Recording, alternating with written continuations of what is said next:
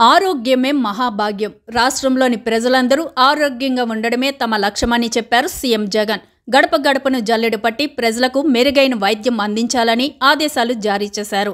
నలభై ఐదు రోజుల పాటు నిర్వహించే జగనన్న ఆరోగ్య సురక్ష క్యాంపెయిన్కు శ్రీకారం చుట్టారు సీఎం.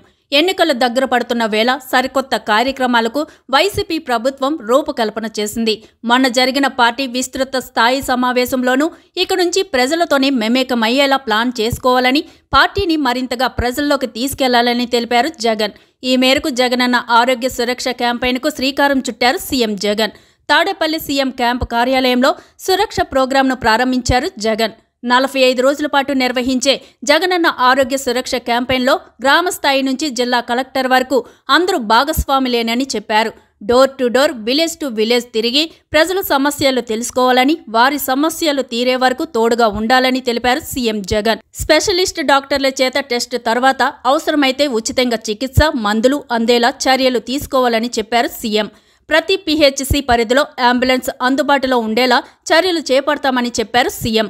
ఒక డాక్టర్ పీహెచ్సిలో ఉంటే ఇంకో డాక్టర్ అంబులెన్స్లో గ్రామాల్లోకి వెళ్తారని సీఎం తెలిపారు.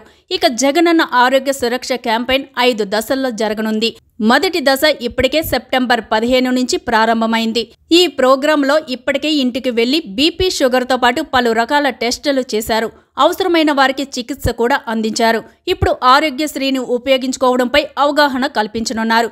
ఎక్కడ చికిత్స అందుతుంది? ఎలా వెళ్ళాలి? ఎవరిని సంప్రదించాలి? అన్న వివరాలతో కూడా బ్రోచర్ను అందించనున్నారు. గర్భిణీలు బాలింతలు చిన్నారుల రక్తహీనతపై ప్రత్యేక దృష్టి సారించనున్నారు. దీర్ఘకాల వ్యాధులున్న వారికి మెరుగైన వైద్యం అందించేలా చర్యలు సురక్ష క్యాంపెయిన్లో తీసుకోనుంది ప్రభుత్వం.